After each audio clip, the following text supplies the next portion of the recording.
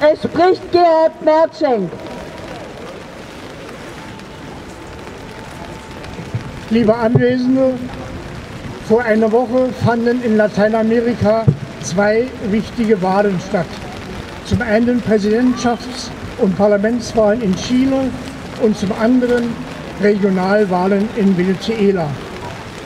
Die Wahlen in Chile brachten eine große Ernüchterung für all die Organisationen und Bewegungen, die seit 2019 rebellierten und die Wahl einer verfassunggebenden Versammlung erreichten, die die geltende Verfassung aus Pinochet-Zeiten ablösen soll. Ausgerechnet der rechtsextreme Verteidiger der blutigen Pinochet-Diktatur, José Antonio Cast, erhielt mit 28 Prozent mehr Stimmen als der linke Reformpolitiker Gabriel Boric, auf den 25 Prozent entfielen.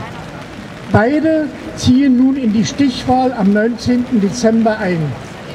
Dieser Wahlausgang zeigt, dass die herrschende rechte Elite offensiv gegen die angestrebten gesellschaftlichen Veränderungen vorgeht und die sogenannte schweigende Mehrheit mobilisiert, um das neoliberale System aufrechtzuerhalten.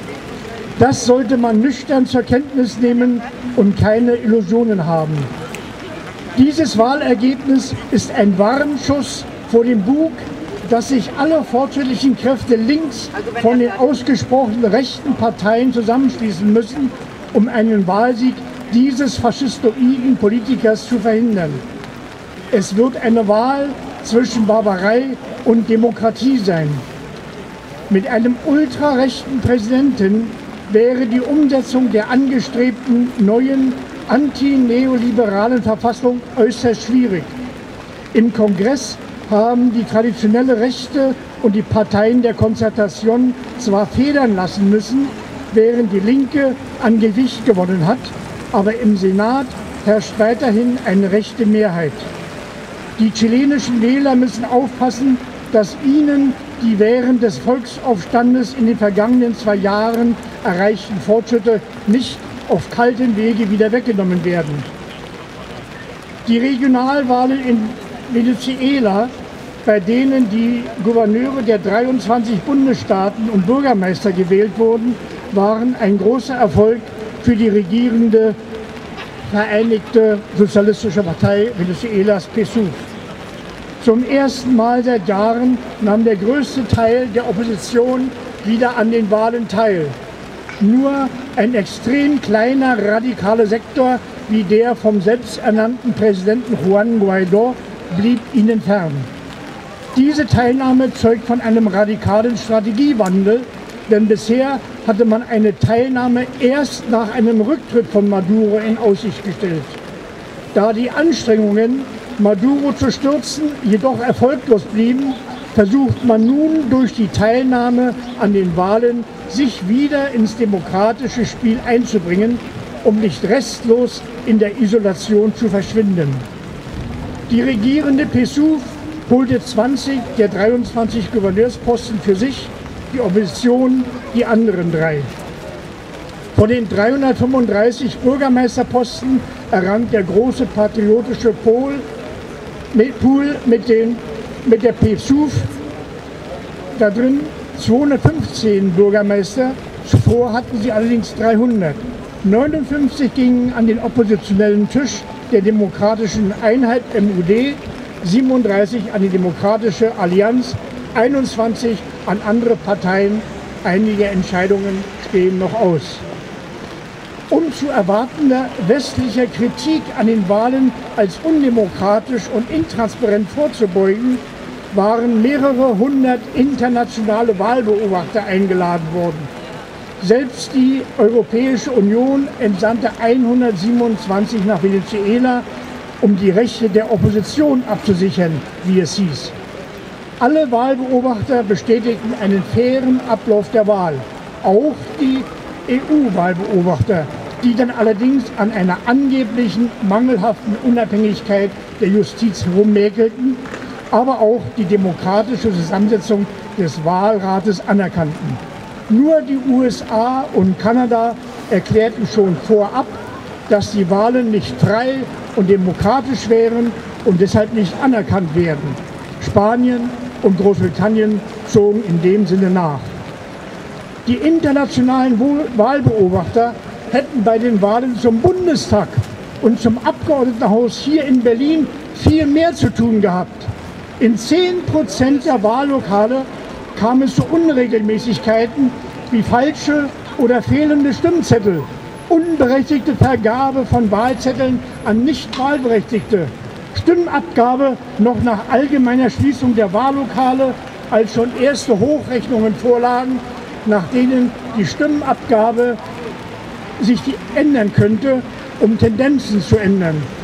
Nur ein Bruchteil dieser Vorkommnisse hätte westlichen Wahlbeobachtern ausgereicht, um Wahlen in Bolivien, Venezuela und Kuba sofort als gefälscht zu brandmarken und für ungültig zu erklären, wie es 2019 in Bolivien gemacht wurde, um einen Putsch gegen die Regierung auszulösen.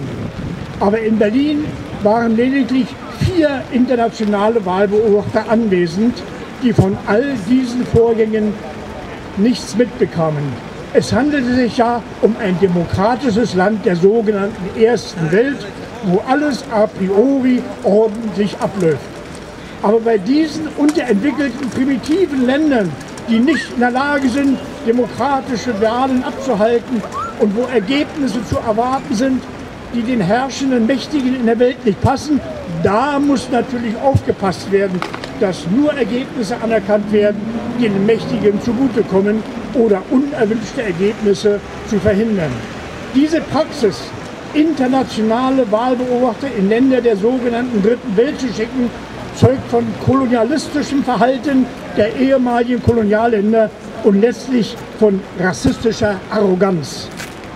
Diese Überheblichkeit gegenüber den Ländern der sogenannten Dritten Welt zeigt sich auch an anderer Stelle, vor allem wenn diese Länder einen antiimperialistischen oder sogar einen sozialistischen Kurs einschlagen. Ein Beispiel dafür ist die Berichterstattung hinsichtlich der Corona-Pandemie. In Deutschland liegt die 7-Tage-Inzidenz jetzt bei 444. In Kuba liegt sie landesweit bei 15 und in 7 der 15 Prozenten unter 10. In der BRD gab es 67.125 Neuinfektionen, in Kuba 186. Wenn man die Bevölkerungszahl ins Verhältnis setzt, wären es 1400, das heißt 50 mal weniger als bei uns.